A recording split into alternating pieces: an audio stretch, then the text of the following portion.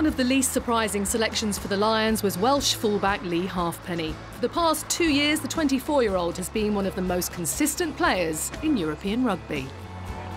I was born in Swansea, in. It's where I still live today. I started playing rugby from the age of six or seven with and um, we went through with them right up to uh, under 16s level. You know, I haven't really looked back. My mum, my dad and my grandfather and, and all my family, they've just been uh, fantastic. My granddad was hugely influential, uh, especially in my kicking. He was the one who would pick me up from school and take me down down Gorseinon to practice um, a couple of times a week.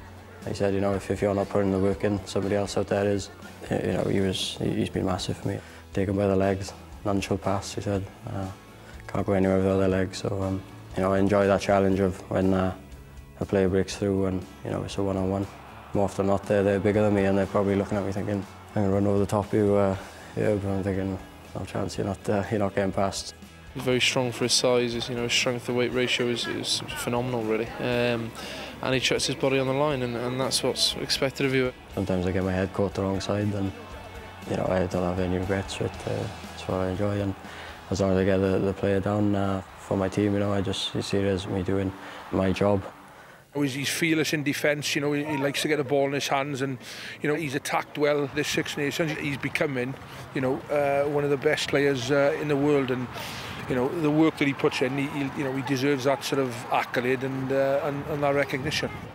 He was named player of the tournament in this year's Six Nations, Wales's successful defence of the title, coming after an emotionally charged victory over England in Cardiff.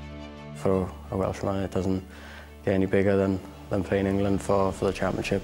I've never been in a game like it. When the anthem started, it was just unbelievable. It was uh, so loud, like, and I think uh, as well, you know, losing the first game against Ireland to, to bounce back the way we did, you know, to go to Paris and, and win out there was was the key really. because um, that gave us the belief again really that you know we, we can we can go on and win this and on the day what went on I think that's why it was so special. Halfpenny was one of eight players in this year's Welsh squad that played in the 2008 IRB Junior World Championship. We played for Wales in the 16s, 18s, 19s and 20s.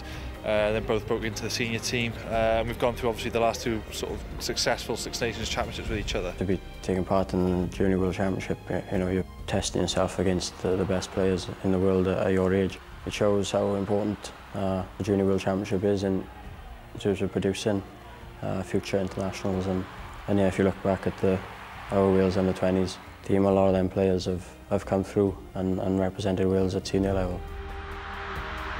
Less than a year after making his international debut in 2008, Halfpenny was called up for the Lions tour to South Africa 12 months later.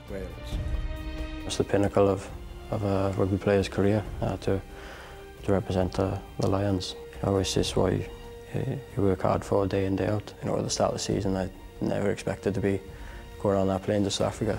Uh, the three weeks I spent out there was just the best time of my life, you know. Being with the Lions, like, it doesn't get much better than that, really. Uh, you know, training and playing with, with players that you looked up to. Who knows what, what would have happened, you know, if I'd hadn't got injured. You know, looking back, it was just an incredible year and being part of uh, the Lions for, for the, the time, I, the length of time I was there was a huge privilege, a huge honour. And Lions fans will be hoping his luck has changed this time around.